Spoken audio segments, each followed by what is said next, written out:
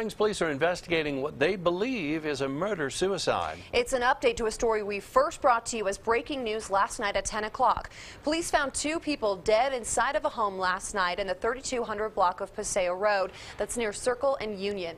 KRDO News Channel 13's Dana Molina is live there right now with new information for us this morning.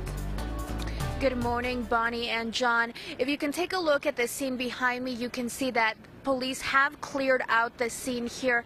They tell us that it is still early on in the investigation.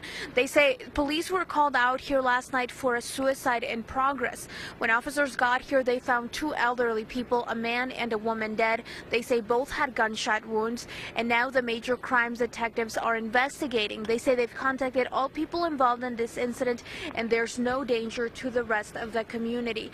They are asking the public, though, if there is anybody out there who has additional additional information could, to give them a call at 444-7000 or Crime Stoppers at 634-STOP. The names of the two people involved in this incident have not been released until their family is notified. We will continue following this story and bring you updates throughout the day. Reporting live in Colorado Springs, Dana Molina, KRDO News Channel 13.